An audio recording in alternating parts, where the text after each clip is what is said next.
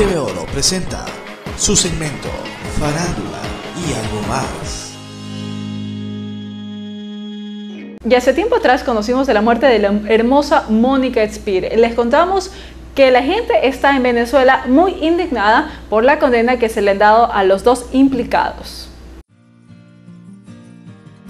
Tras la condena de los tribunales de Venezuela de dos adolescentes a cuatro años de cárcel por participar en el asesinato de Mónica Spear y su pareja, fans de la desaparecida actriz reaccionaron indignados por considerar insuficiente la pena. En este país puedes matar a alguien, cumplir una condena de cuatro años y salir a un joven, como si tuviera sido de vacaciones, expresó en Twitter una usuaria. Dios se encargará de hacerles justicia, tuiteó Cáliz, otra seguidora de la actriz. Al joven de 17 años se le acusó de ser coautor del delito de homicidio, asociación para delinquir y robo agravado, mientras que el otro fue imputado por delitos de resistencia a la autoridad, aprovechamiento de cosas provenientes del delito y asociación para delinquir, agregaron las autoridades venezolanas.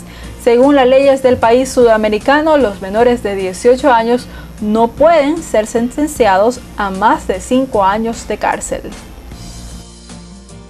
Y la cantante Anaí se encuentra ya casada y totalmente lista para lo que será el reencuentro de los ex RBD. La recién casada Anaí confesó en una entrevista que la entusiasma la idea de un reencuentro con los ex RBD.